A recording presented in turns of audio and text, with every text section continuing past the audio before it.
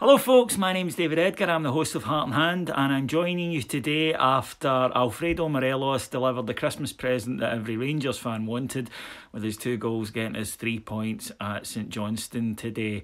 And uh, I don't know about you, but I'm knackered after just watching that. We really went through the ringer on that one.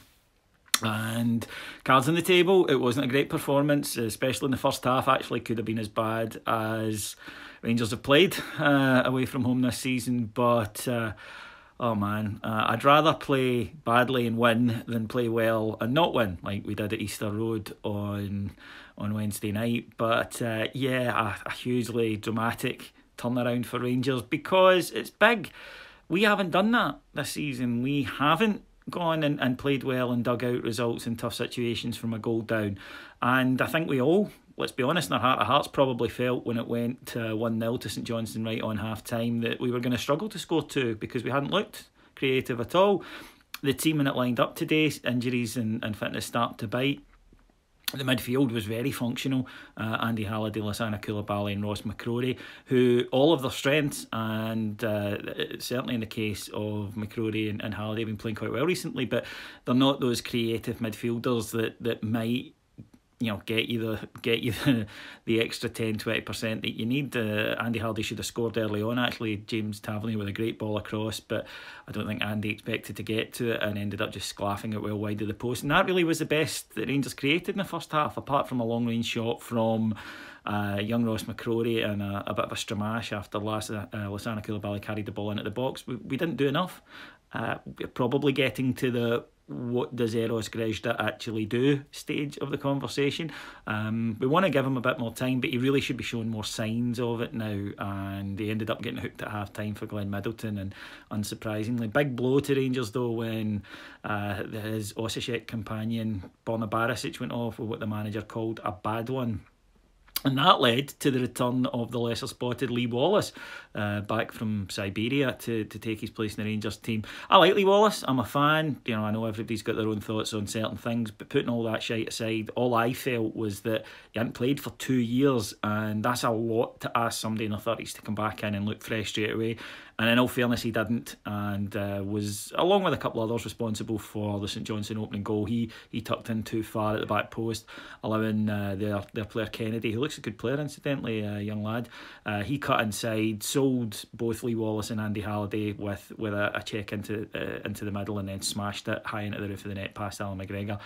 And at that point, we were struggling badly, and you, you just didn't know where a goal was going to come from. As I say, Glenn Middleton came on, but Rangers were doing what we've seen far too many times this season, which is get ball down, get wide, cross into box. And St Johnstone had the better chances in the first half. Uh, Liam Craigs missed a sitter, a header from about a yard out.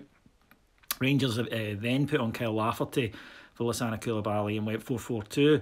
Uh, St Johnstone went 4 4 2. It was very much a return to the time when this strip was the was the first team strip um, at Rangers, and people are going to tell me Rangers played 3 5 2 that season, aren't they? Yeah, uh, I walked into that one.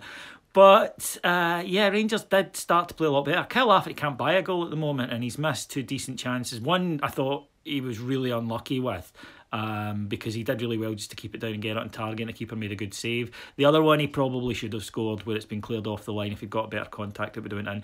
But everything else he did was great. Um, he was winning headers. His link up play was good, and Alfredo Morelos, who normally reacts to the presence of another uh, another striker playing up front with him, the way that you or I would react to a paedophile joining us for Christmas dinner. But today he was uh, a lot more willing to link up with Kyle, and it was great to watch. And Morelos is just so good. And look, every club will be biased, and every club will have their own favourite. But for me, he's the best player in Scotland at the moment. Uh, he's just so good. He's 22. And a friend of mine actually pointed out, he said, You know, David, have, have we had uh, a better striker than that at that age in the last what twenty years, and not at that age we haven't. No, he's a tremendous player. He really is, and he's getting better and better. And he's got melons, and that's the thing. When you need your big players to turn up, Alfie does, and he did it today. Uh, a great of play from Rangers. Connor Goldson for once Rangers played the ball quickly, direct, and incisively. He fires it out to Glenn Middleton. He puts over a perfect cross right into the middle of the six yard box. Keeper can't come for it. Alfie arrives, textbook header down low into the corner. 1 1. And then Rangers were the better side. That's not to say St Johnstone weren't, weren't uh, useful in the break. Again, my pet hate, uh, a, a free kick to Rangers broke off the wall. St Johnstone run. Nobody has the sense to, to take one for the team, pick up the yellow card, and it ends with Blair Alston putting a header just over the bar. And we haven't scored late winners, so I did worry. I think we all did that maybe it was going to be two points drop, but um, James Tavernier, again, showing how useful he, he is to the team in attacking sense, puts over a great cross. But it's all about Alfie. It's all about Alfredo Morelos as he goes past his defender and smashes it in on the volley.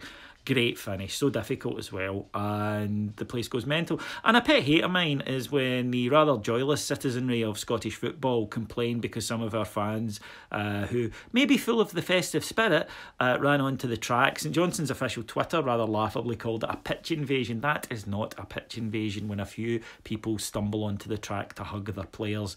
Um, people getting excited about a last minute winner at the football that they've paid you know what 40 quid for a ticket 30 40 quid for a ticket and travelled to Perth to watch two days before Christmas. Imagine imagine the gall of these people being excited. How dare they? I'm sure a, a, a letter to the local MSP will, will put an end to such shenanigans. You know bugger off.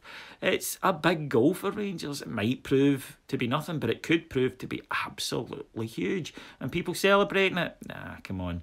It's it's things like that that make Rangers fans think that it doesn't matter what we do.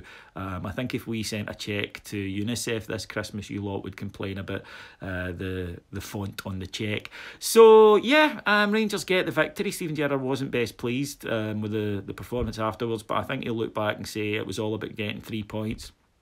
And as for Alfredo, um, the wee man is sex, just absolutely wonderful. We all love him to bits. And what's brilliant is Rangers fans, especially the youngsters, we haven't had a lot of heroes the last few years. And my nephew, who's 10, is now running about with his Alfredo haircut, the doors on. That's who he wants to be in the, the, the playground. It's It's been a long time since that's happened for kids of that generation. So let's celebrate the wee man while we've got him. Um, he'll be away at some point, but let's hope that's, uh, that's uh, a good bit away at the moment.